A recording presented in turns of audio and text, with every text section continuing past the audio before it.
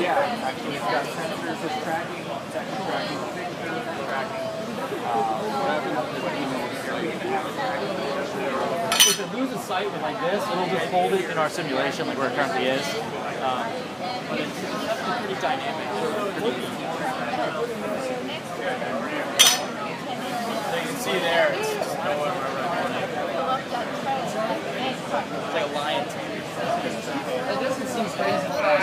It